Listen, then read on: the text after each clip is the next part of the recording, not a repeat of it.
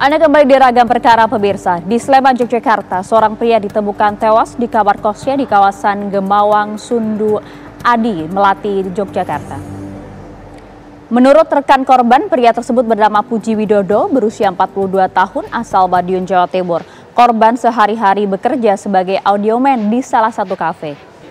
Dari hasil identifikasi polisi, korban terakhir berkomunikasi dengan rekannya pada dini hari. Namun sore harinya korban ditemukan meninggal dunia. Polisi masih menyelidiki penyebab pasti kematian korban sebab tidak ditemukan adanya tanda-tanda kekerasan di tubuh korban.